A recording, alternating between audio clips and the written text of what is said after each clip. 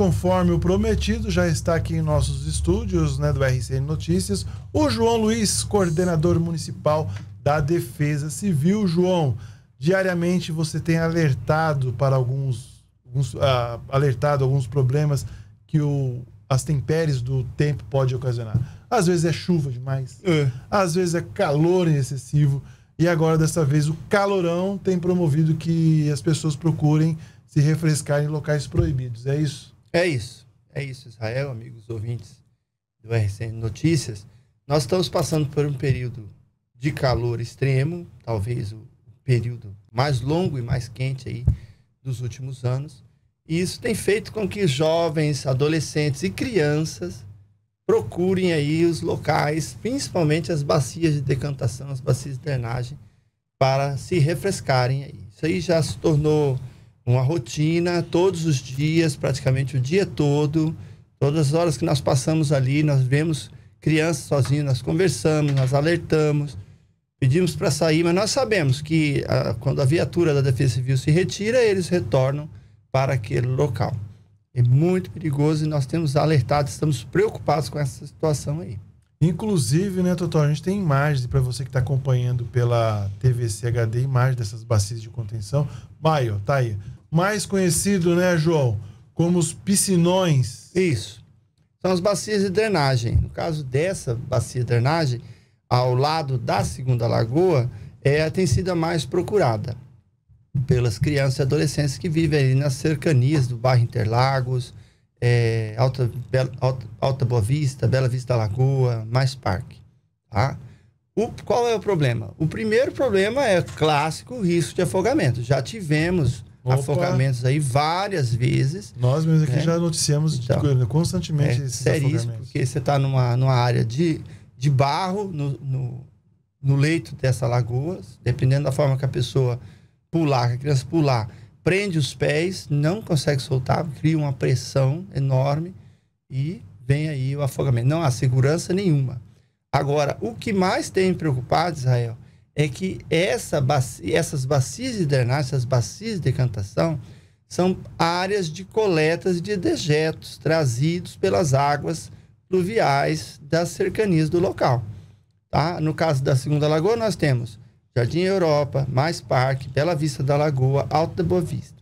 Você tem fezes de animais, animais mortos, fezes humanas, lixo doméstico descartado indevidamente.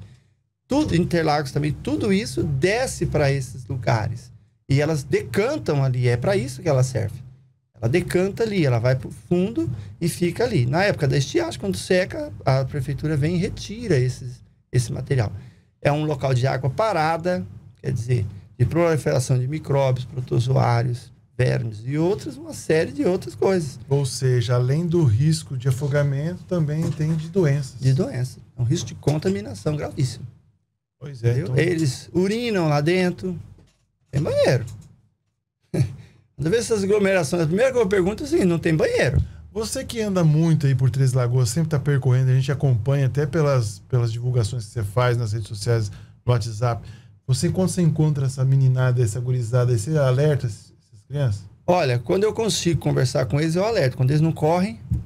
Ah, porque vê o carro da Defesa Civil. Eles correm, entram no meio do mato, não dá tempo de conversar.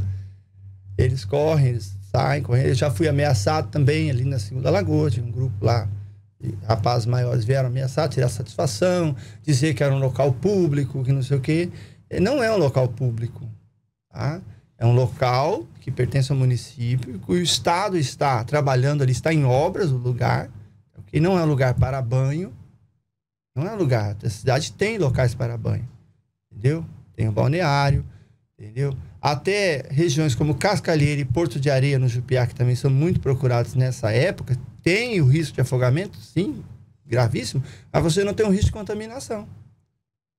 Você tem crianças ali. Eu fui lá, tinha crianças sozinhas com alguns marmanjos lá, meninas, meninos, 8 anos, 10 anos. Conversei, expliquei, expliquei, mostrei para ele. Oh, vocês estão vendo aquele cano ali? Aquele cano é, é, é drenagem das águas pluviais. Toda a sujeira vem para cá. Vocês tomando banho na água suja. Né? Suja mesmo. Além de. E é barrenta. Não, sei que graça tem, entendeu? Pois é. Que graça tem. Pois é, é um risco, risco realmente desnecessário e cabe aí às mães e os pais né, alertarem seus sim. filhos. Agora, João, a gente está falando de afogamento aqui, de um, na verdade, um risco de um acidente. Isso. Né? Rapaz, se nós mostramos na reportagem na semana passada uma obra de drenagem lá no bairro. Até me fugiu, próximo do hospital regional. Sim. Atrás do hospital regional. As crianças brincando dentro de tubo de canalização. Não é, um, não é a manilha, aqueles tubos. Eles entravam dentro do tubo e saíam em outro lado. Criança é criança. Criança é criança. Criança, adolescente. Gosta de fazer a traquinagem. Mas cabe os pais alertarem para Isso. os riscos de acidente. Igual a esse aí, como você mesmo está citando aí, dessas lagoas, essas reservas de, de contenção de água. Né? É. As crianças de periferia são muito levadas, muito espertas. Entendeu? Ainda Mas, bem. Ainda bem, não, sim. Ainda bem. É, elas se viram em casa, os pais trabalham, a maioria dos pais trabalham, não tem quem ficar. Você não consegue atender toda a demanda, né? Crianças com projetos e tudo mais. Então essas crianças ficam na rua e elas procuram fazer arte, sim. São curiosas, são atentadas, são arteiras.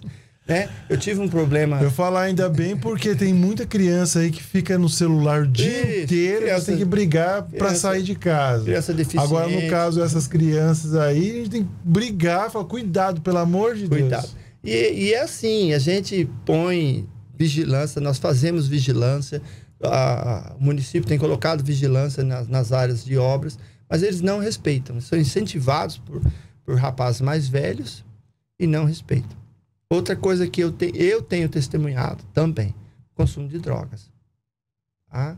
Consumo de drogas nesses ambientes. Cascalheira, Porto de Areia.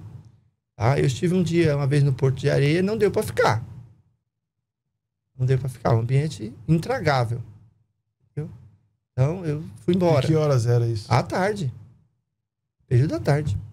E você não consegue acionar a polícia Consigo militar? acionar, mas às vezes até mesmo recebi uma orientação para ter cuidado, né? Porque eu, eu, estou sozinho, né? Eu estou sozinho.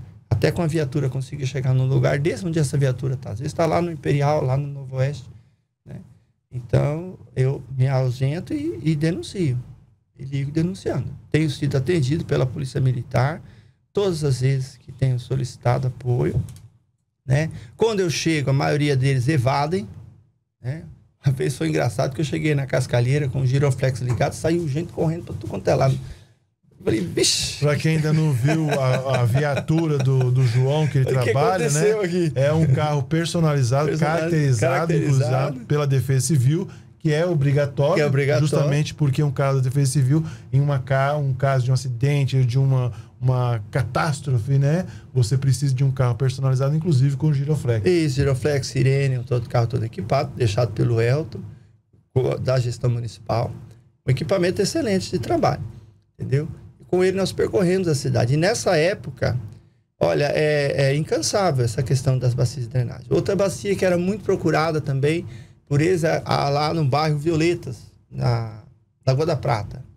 Né? Descobri até pela internet, um grupo de jovens do meu projeto, ó, oh, vamos tomar banho no poço. E aí eu, que poço é esse? O quê? Aí fui lá ver. A bacia inundou, alagou com a, com a chuva e as crianças estavam indo lá. Meu ainda pega a barranca da bacia, ainda faz escorrega ainda. Cada um sobe com um litro d'água.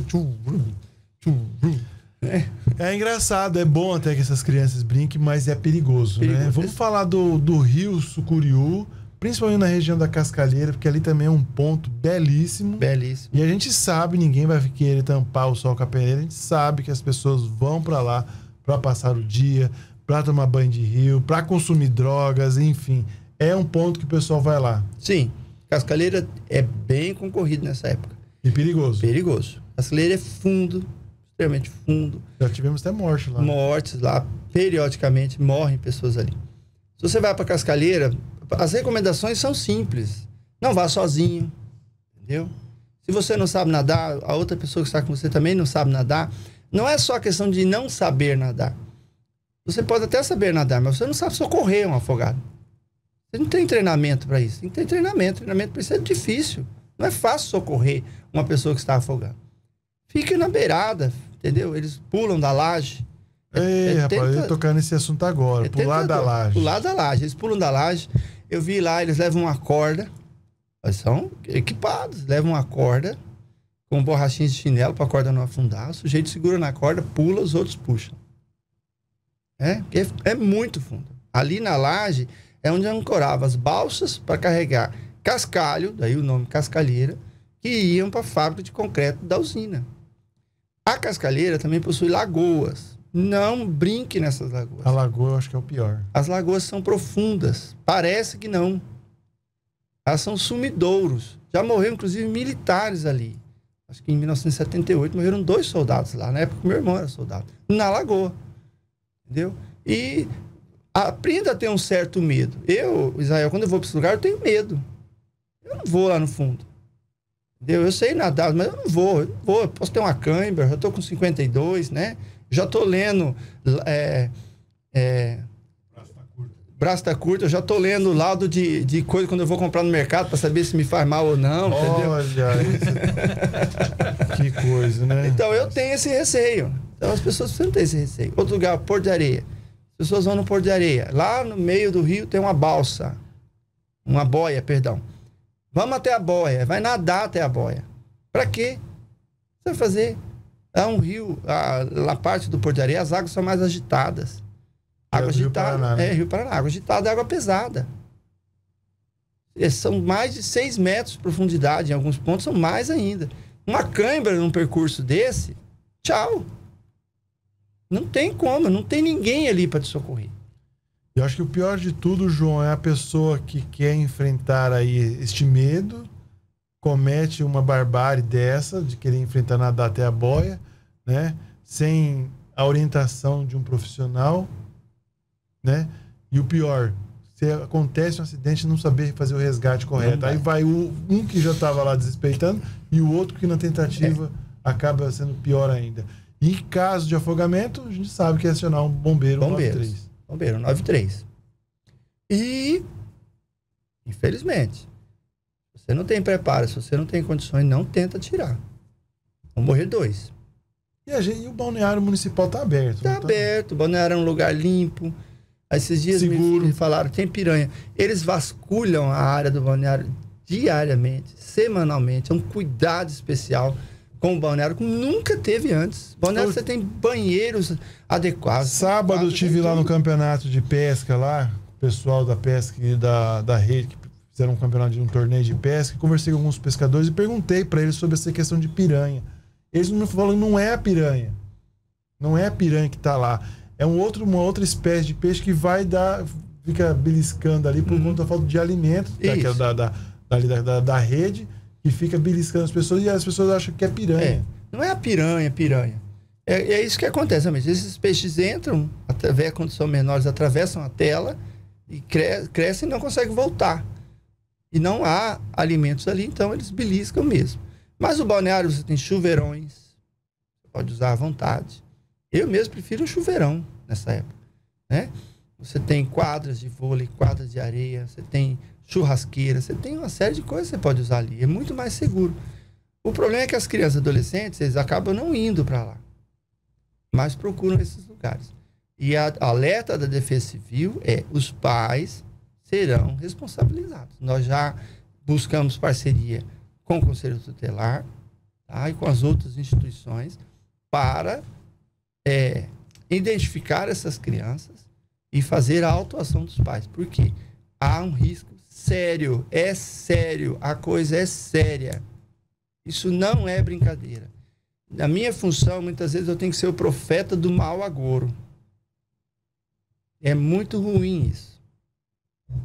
Mas se continuar assim, infelizmente, logo, logo nós teremos, estaremos anunciando aqui uma tragédia, a morte Tanto é sério que nós cedemos um espaço aqui para o João Luiz, que é o coordenador da Defesa Civil, justamente para alertar você, pai, você, mãe, dos riscos que os seus filhos estão correndo ao querer procurar aí essas é, é, represas, essas lagoas de contenção para se banhar, para brincar. Então tá aí, então passível agora de ser notificado e receber a visita do conselho do conselheiro tutelar, né, para falar, ó, deve explicação. É melhor ser notificado do que receber a, a informação. Ó, seu É. filho morreu afogado. É. Deus me livre de dar essa notícia a alguém. É muito é? triste. É muito triste. Porque nós já tivemos, já noticiamos aqui, aquela, uma, uma criança que morreu afogada naquela, na bacia, só não me lembro o nome do bairro agora, caminho do Corpo de Bombeiros ali. Sim. Teve um acidente. Fevereiro, né? Em fevereiro, exatamente. Fevereiro. Até o Alfredo Neto teve lá falando, fez toda a cobertura. É muito mais triste. Então, fica aí o alerta então do João. João, a partir de agora, então, os pais podem ser notificados. ser notificados. Estamos fotografando, estamos identificando, entendeu? E estamos cuidando. Outra coisa, ali na Segunda Lagoa, trecho em obras. Tem carretas, tem pá carregadeiras, caminhões passando ali, e eles estão atravessando, estão cruzando. Até outras pessoas, motoristas, motoqueiros, estão cruzando, estão passando. Até acontecer um acidente. Aí vai gritar igual doido aí, querendo caçar um culpado. né? Então vamos ter É. cuidado aí. Muito cuidado. João, obrigado por você Eu ter participado agradeço. conosco. A gente abre, abriu esse espaço realmente porque o calorão chegou, uma nova onda de calor está no Mato Grosso do Sul. Hoje os termômetros devem bater novamente os 40 graus, assim como fez ontem.